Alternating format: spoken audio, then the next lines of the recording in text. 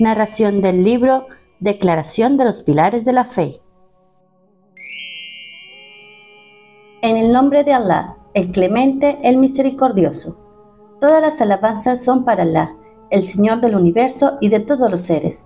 Que la paz y las bendiciones de Allah sean con el sello de sus profetas y mensajeros, Muhammad, así como también con su virtuosa familia, compañeros y todos aquellos que sigan sus pasos hasta el día del juicio final. A continuación, daremos inicio a una serie de videos en la que narraremos el libro Declaración de los Pilares de la Fe, escrito por Abdullah bin Saleh al-Qasir y traducido al español por el doctor Ahmad Abdu. Significado de al-Aqida, la declaración del monoteísmo y la relación entre ambas. La definición lingüística de al-Aqida, la creencia, en el idioma árabe, designa el hecho de adherirse y de apegarse fuertemente y firmemente a algo que está documentado y afirmado. Terminológicamente, al-Aqida, la creencia, es en lo que se basa el corazón de uno, de lo que tiene convicción, de modo que no se planee ninguna duda al respecto, pues es el criterio de la mente firme o en lo que se basa la conciencia. Esta implica intención, palabra y acción de acuerdo a ella. La validez o corrupción de al-Aqida, la creencia. La creencia de una persona es la firme convicción en la que se basa su corazón y por lo cual su mente la toma como una doctrina, una religión a la que se le debe, independientemente de su validez o corrupción. Por esta razón existen diferencias entre las creencias. En este orden de ideas, se considera que esta, el Islam, es una creencia válida, debido a que los argumentos y las pruebas de su validez están establecidas como la convicción de los creyentes en la unicidad de Allah Todopoderoso, así como sus obligaciones hacia Él y la creencia de que es inválido asociar a otros con Él en algunas de sus características y derechos. Por otra parte, lo que es contrario a la verdad es una creencia falsa, porque existe evidencia de su invalidez, como la creencia errada de los cristianos de que Alá Todopoderoso es el Mesías, el Hijo de María, o que Él es el tercero que conforma una Trinidad, y la creencia de los politeístas de que sus ídolos e imágenes son dioses junto con Allah, y así sucesivamente otras creencias distorsionadas y falsas que solo Allah Todopoderoso puede contar. La doctrina islámica correcta. La creencia islámica se evidencia en los fundamentos del Islam, el Corán, la Sunna y el consenso de los Sahaba, que Allah esté complacido con todos ellos. Esta es la creencia correcta. La doctrina islámica correcta se conforma por la fe firme en Allah Todopoderoso, en sus ángeles, sus libros, sus mensajeros, el último día, la predestinación, sea agradable o desagradable, y todo lo que el Corán y la Sunna auténtica han traído, tales como las noticias, los asuntos intangibles, los veredictos legislativos, las decisiones legales y penales, y todo lo que los predecesores justos han acordado unánimemente, así como también la sumisión a Allah Todopoderoso por todo ello, el obrar para Él según Él, altísimo es, además de la obediencia y el seguimiento al profeta, la paz y las bendiciones de Allah sean con Él. Seguir estos fundamentos conlleva a la creencia en los asuntos intangibles, el monoteísmo y la unicidad del Señor, adorar a Allah con lo que Él ha decretado y la certeza de encontrarse con el Todopoderoso y su recompensa, lo que incluye la creencia islámica.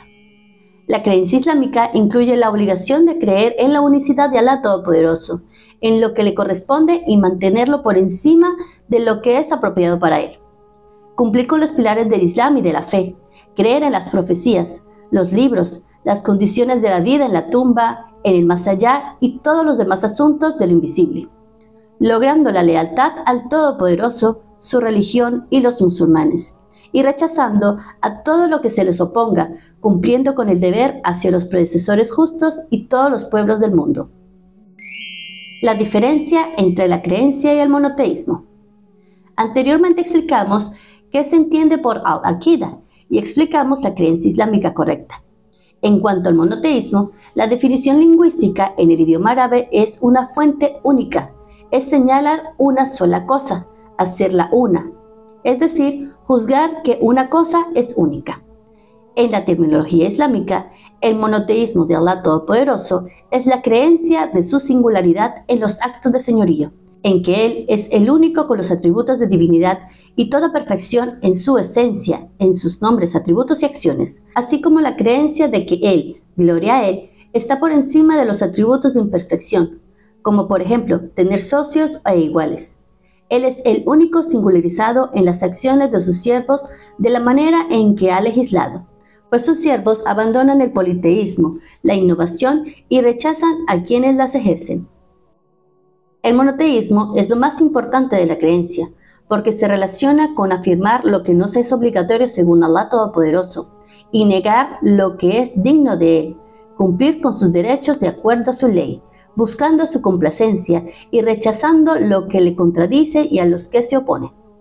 La religión del Islam ha sido llamada monoteísta porque se fundamenta en que Allah Todopoderoso es único en su señorío, en dar creación, en el dominio y en la gestión, es decir, no tiene socio.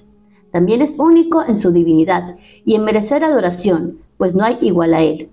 Y es único en sus nombres, atributos y acciones.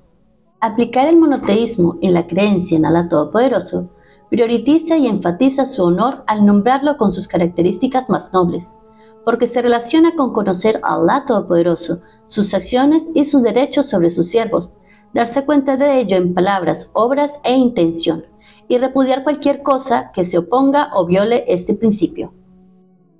La veracidad y la importancia del monoteísmo. La veracidad se encuentra en la atracción del corazón y el alma hacia el Todopoderoso por amor, veneración, temor, arrepentimiento y sumisión. Pues el siervo de Allah Todopoderoso obra con rectitud, por lo que obra en bien tanto como puede, se aleja de lo prohibido y se arrepiente de las malas acciones ante el Creador con su sinceridad, esperanza, amor, temor y aspiración. El significado del testimonio de que no hay divinidad excepto Allah y su exigencia es el primero de los deberes y las más importantes de las obras, la condición para la aceptación de las acciones y de lo que pesa más en la balanza. El Todopoderoso dijo, Debes saber, oh Muhammad, que no existe ninguna divinidad verdadera con derecho a ser adorada excepto Él, y pide perdón por tus faltas y por los de los creyentes, hombres y mujeres. Traducción del Corán, Sura Muhammad, Aleya 19. Y dijo, Oh gente, adoren a su Señor traducción del Corán, Sura al-Baqarah, aleya 21. También ordenó, y no se les ordena más que adorar exclusivamente a Allah con una fe pura y sincera. Traducción del Corán, Sura la Evidencia, aleya 5. Asimismo, también indicó, y adoren solamente a Allah. Traducción del Corán, Sura An-Nisa, aleya 36. El profeta Muhammad, la paz y las bendiciones de la con él, dijo a Muad, que Alá esté complacido con él, cuando lo envió al Yemen, vas a ver algunas de las personas del libro. Cuando vengas a ellos, llámalos para que testifiquen que no hay nadie digno de adoración excepto Allah. Estos textos y otros, en su significado, indican que el monoteísmo es el derecho del Señor de los mundos, el mayor deber de quienes son responsables, lo primero que trae al Islam y la mayor expiación de los pecados. Pilares de la creencia y la fe. La fe islámica es la firme y plena creencia en Allah Todopoderoso, en lo que proviene de Él y lo que nos es obligatorio para con Él. Glorificado sea. Es lograr esto con intención sincera en palabras y acciones, y abandonar aquello que disminuye la perfección de la fe obligatoria o que la contradice. Allah Todopoderoso ha explicado los fundamentos de la fe diciendo, la piedad no consiste solamente en volver el rostro hacia el oriente o el occidente, sino que consiste en creer en Allah, en el día de la resurrección, en los ángeles, en los libros revelados